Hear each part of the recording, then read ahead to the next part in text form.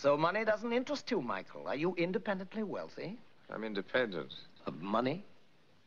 Before you start that novel Elsa says you're going to write, you better learn something. You've been traveling around the world too much to find out anything about it. That's good, Arthur. Well, sir,